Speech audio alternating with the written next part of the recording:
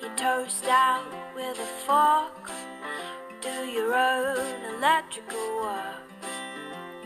Teach yourself how to fly. Eat a two week old unrefrigerated pie. Dumb ways to die. So many dumb ways to die.